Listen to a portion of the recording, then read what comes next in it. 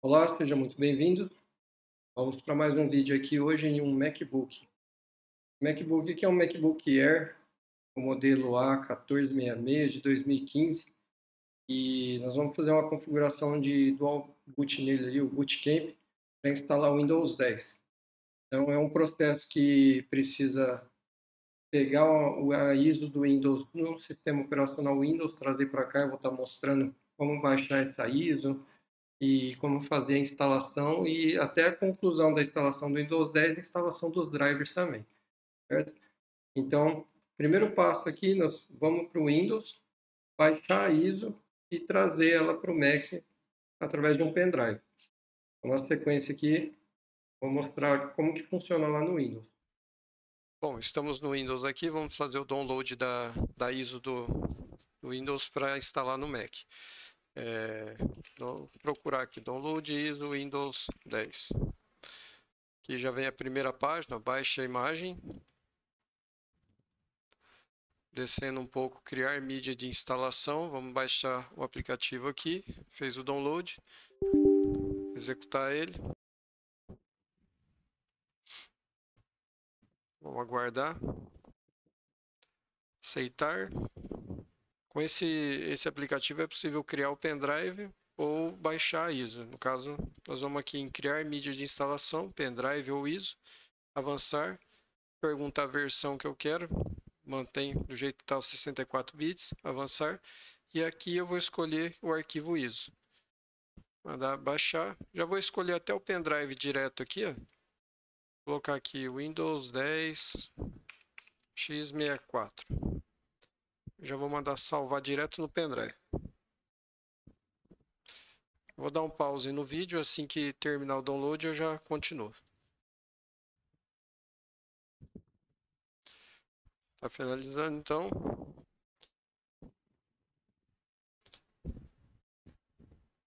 Tem mais uma etapa aqui, vamos, vamos aguardar. Então chegamos ao fim aqui, ó. O pendrive concluiu a gravação, clicar em concluir aqui. Tá? O arquivo está aqui, 4 GB 600. Vegetar aqui. Vegetado e é isso. Bora para o Mac. Então, continuando agora aqui no Mac, vou conectar o pendrive. Ele já apareceu aqui. A ISO Windows está aqui. Eu vou clicar com o botão direito, colocar a opção de copiar. Eu venho aqui em Downloads, botão direito, colar. Terminou de salvar na pasta download. Agora eu vou ejetar aqui o pendrive. Ejetei. Então agora nós vamos iniciar a configuração do Bootcamp. Vamos aqui no, nos aplicativos, aqui na parte de outros, assistente do Bootcamp, continuar. Bom, nessa parte aqui a gente vai definir o espaço. Nas condições que eu estou aqui, um pouco espaço em disco, que é um SSD de 128 GB, ele está liberando apenas 43 GB. Eu posso vir aqui tentar ajustar, mas ele só está me dando esse, esse espaço. Quando você tem um disco maior, ele te dá mais opção de você diminuir e aumentar. Então eu vou deixar dessa, maneira para a gente testar. Aqui em cima ele já identificou a ISO, Windows 10 x64. Automaticamente eu não precisei escolher. Eu vou clicar em instalar ele vai baixar o, os drivers, os aplicativos que precisa para essa versão de Mac para configurar no Windows, né, para funcionar Wi-Fi, som, todos os recursos do Mac certinho. E agora só aguardar. O processo é demorado. Ele vai fazer isso automático aqui e vai reiniciar o Mac e já entrar no modo de instalação do Windows. Então eu vou pausar o vídeo. A hora que ele for entrar na instalação do Windows, eu continuo mostrando para vocês como que deve proceder ali na, instalação.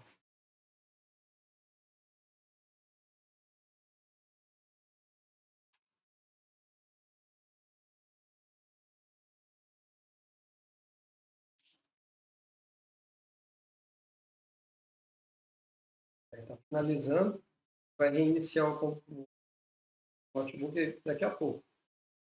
Aí já vai entrar no modo de instalação do Windows 10 e eu vou seguir com o vídeo mostrando o passo a passo. Então estamos aqui ó, na tela, ele reiniciou a tela de instalação do Windows 10. Já vamos seguir aqui, ó, avançar. Aqui ele pergunta se tem a chave do produto, eu coloco no momento não tenho. Ele pergunta a versão, você escolhe a versão que você for comprar a chave da licença. Ou, por exemplo, aqui eu vou escolher a Home. Aí vou dar avançar, aqui aceito, avança. Aqui ele já deixou tudo pronto, tá vendo as partições? Você não vai mexer em nada aqui, você só vai escolher o Bootcamp, que ele tá até em azul, escolhe ele e clique em avançar. Aí aguarda. Esse é o procedimento. Ele vai fazer a instalação do Windows, vai reiniciar, vai finalizar e vai cair na tela de configuração inicial. E aí quando chegar nessa parte eu volto com o vídeo para mostrar também o passo a passo ali e a etapa final da instalação dos drivers. Tá? Ele está finalizando a cópia aqui dos arquivos. Posso concluir, ó, ele entra nesse processo, reinício automático.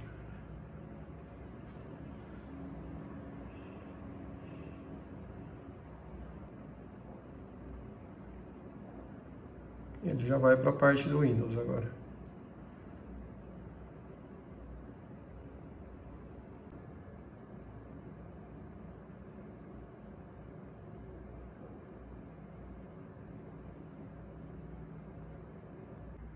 Aí está finalizando a instalação, agora ele vai entrar no processo de configuração ali do usuário inicial. Aqui a gente vai manter aqui português, Brasil, né?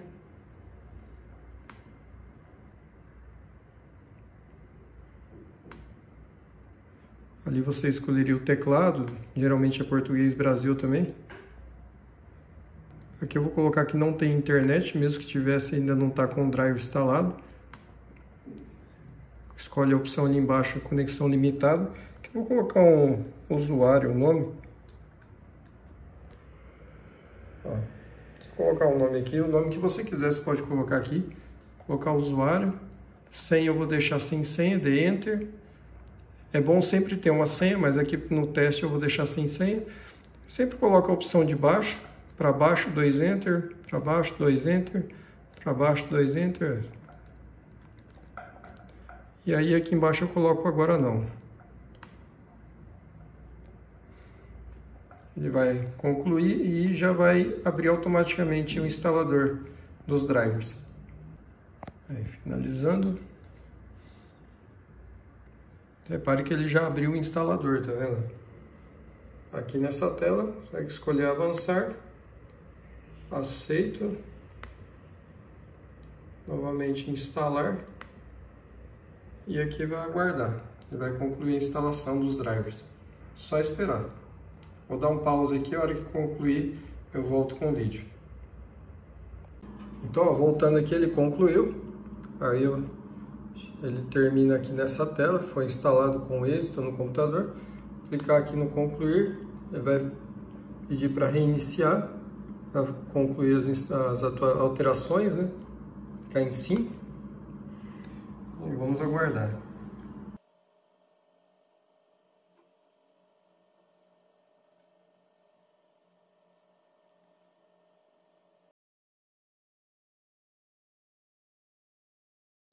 Iniciando o sistema, vamos conferir se os drivers foram todos instalados. Ele ainda está concluindo aqui um... Terminou gerenciador dispositivo.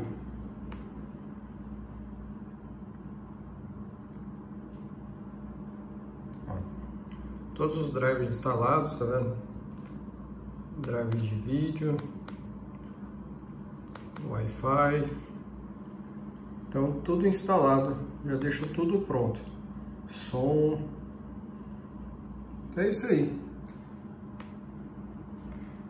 concluída a instalação com os drivers. Agora é só colocar os aplicativos que precisa e utilizar.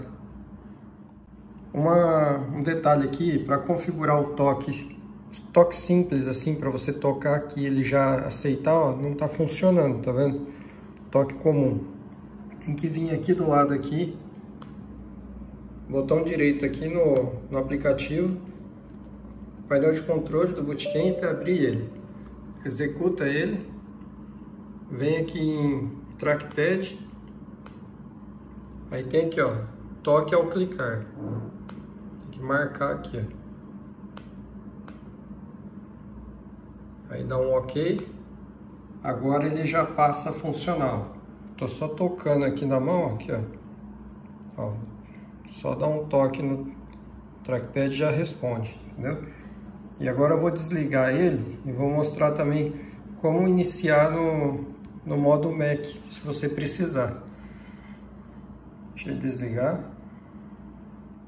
Então, para iniciar ele no modo Mac, quando você apertar o botão de ligar, você depois em seguida já segura a tecla aqui, ó, seria Option. É que esse teclado, esse, esse Mac ele é italiano, então a tecla seria aqui essa Alt, ó. mas tem alguns modelos que chamam Option. Então eu vou ligar aqui e já vou segurar a tecla. Ó, repara que ele deu a opção para eu escolher, entendeu? Aí eu vou vir aqui, ó, Macintosh e dou Enter. Aí ele carrega o sistema macOS. Tá ok? Reiniciou a máquina, ele volta para o Windows. Quiser iniciar o Mac, liga e segura tecla Option ou Alt, como eu mostrei no vídeo aqui. Beleza? É isso aí. Gostou do vídeo? Deixa um like aí, se inscreve no canal, dá uma força para o canal que está começando agora e espero que dê certo aí para sua instalação. Muito obrigado, até a próxima.